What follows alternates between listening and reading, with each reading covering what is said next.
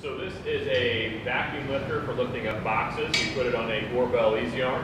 The nice part about having on this articulated arm is that you know you can reach very close to the column.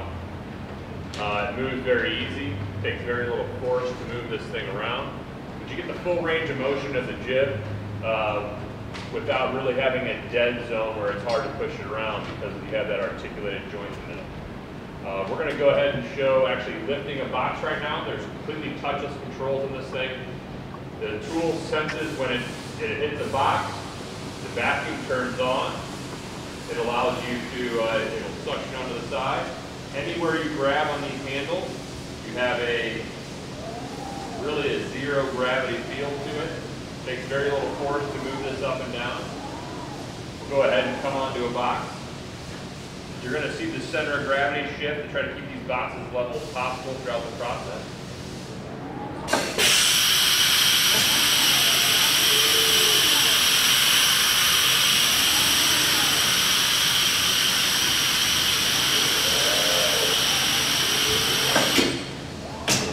The nice part about this, with the handle like this, you can really stack three, four boxes high without having to put yourself in an position.